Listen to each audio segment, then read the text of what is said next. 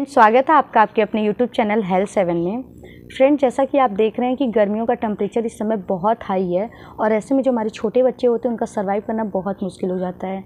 आप देखते हैं कि गर्मियों के सीज़न में बच्चे बहुत ही ज़्यादा बीमार पड़ते हैं। क्या होता है कि जो हमारे सबसे छोटे बच्चे होते हैं, जो नन्हे मुन्ने बच्चे होते हैं, नवजात शिशु होते हैं या छः महीने तक के बच्चे होते हैं, उन्हें हम कंट्रोल कर लेते हैं, बेटा, बाहर नहीं जाना है, अंदर हम उन्हें रख लेते हैं, ठंडी जगह पे रख लेते हैं।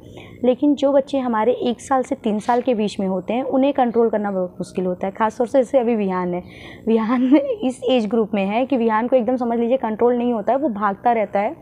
वो बस हाथ पकड़ लेगा, नहीं, मुझे बाहर लेके चलिए। मतलब इस एज ग्रुप के बच्चे बस मौका ढूंढते हैं कि कैसे बाहर भागें। या जो घर में उनके चहेते होते हैं, उनको ले करके नहीं, मुझे बाहर लेके चलो। तो फ्रेंड्स ऐसे में क्या होता है? हमें बच्चे की ज़्यादा देखभाल करने की ज़रूरत है। क्योंकि गर्मी में सबसे ज़्यादा जो देखने को मिलता है, वो बच्चे को लू लग जाता है।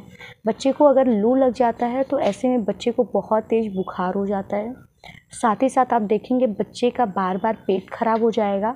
उसके साथ साथ बच्चे की जो बॉडी होगी वो डिहाइड्रेट हो जाएगा। और बच्चे की जो चमड़ी होगा, जो स्किन होगा, वो सूखने लगेगा। और बच्चा आपका कुछ खाएगा, पिएगा नहीं।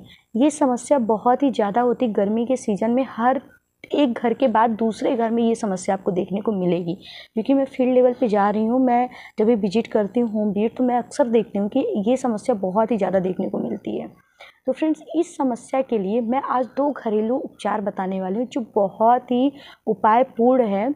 अगर आप उसे वास्तव में अप्लाई करेंगे अपने बच्चे पे तो आप देखेंगे कि अगर बच्चे को लू, किसी भी प्रकार का कितना भी तेज़ तरार वाला लू हो, चाहे वो बच्चा घर से बाहर निकल के कहीं मार्केट में गया हो, या घर से बीस किलोमीटर दूर वो बच्चा बाइक पर बैठ के गया हो, लू लग गया हो, या घर के बाहर खेल रहा हो तो समझ लीजिए कि वो चुटकियों में दूर हो जाएगा, बच्चा आपका स्वस्थ और मस्त और ठीक हो जाएगा। तो फ्रेंड्स ये वीडियो आपके लिए बहुत ही इंपॉर्टेंट होने वाला है। वीडियो को आप लास्ट तक देखिएगा।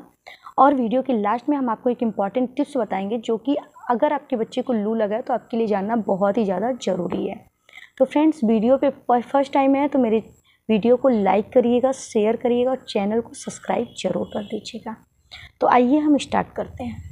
सबसे पहले हम देखेंगे कि अगर हमारे बच्चे को लू लगी है तो हमें सबके इस समय आम का सीज़न चल रहा है और सबके घर में कच्चे आम ज़रूर होते हैं। हम लोग आम की चटनी भी पीते हैं, आम का पन्ना पी रहे होते हैं।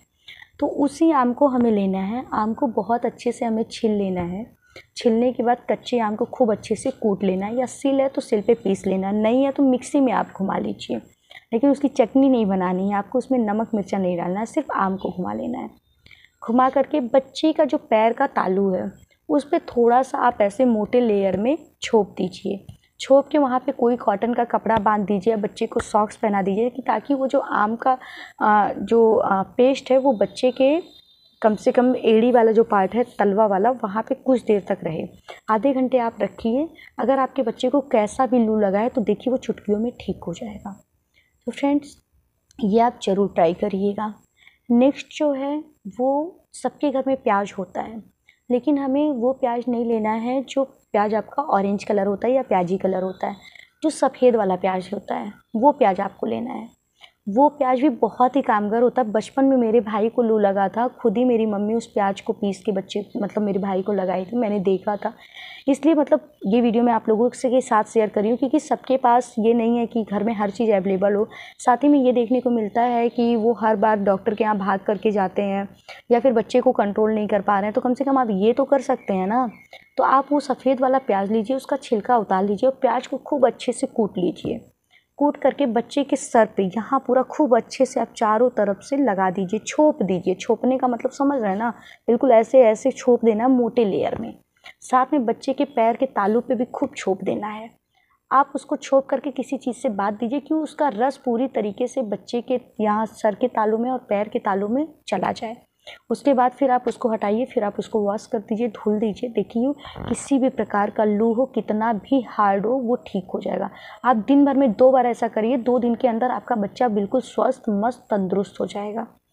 फ्रेंड्स अब हमने कहा है कि एक इंपॉर्टेंट टिप्स बताने के लिए तो बस ये इंपॉर्टेंट टिप्स ये है कि जो चना होता है चना आप देखते होंगे गाँव में बहुत ही ज़्यादा मिलता है, सब लोग अपने खेतों में बोते हैं। उस चने की जो डंठल होती है, डंठल मतलब कि चना फर जाता है, लेकिन उसका जो पेड़ होता है, उस पेड़ को अगर कहीं भी आपको मिले तो आप उसको अपने पास ज़रूर रखिए। गर्मी के सीज़न में लू लगने पे बहुत ही फ़ायदेमंद होता है। आप उसको रखिए, गर्मी में आपको क्या करना है कि रात में एक बाल्टी पानी में आप चने के डंठल को भिगा दीजिए। भिगाने के बाद दूसरे दिन आप डंठल को फेंक दीजिए और जो पानी रहे उससे आप नहा लीजिए। अगर आप अपने छोटे बच्चे को डेली पूरे गर्मी भर आप ऐसे नहला रहे हैं, भले वो एक बाल्टी नहीं, एक मग पानी से भी आप नहला दे रहे हैं तो समझ लीजिए पूरी गर्मी बीत जाएगी, आपके बच्चे को लू नहीं लगेगा। तो फ्रेंड्स, हमारा ये वीडियो कैसा लगा है, आप लोग हमें कमेंट में प्लीज़ बताइएगा और आप ये भी बताइएगा कि क्या आपका बच्चा भी जिद करता है बाहर घूमने के लिए गर्मी के मौसम में। तो फ्रेंड्स, मिलते हैं नेक्स्ट वीडियो में। Thank you so much.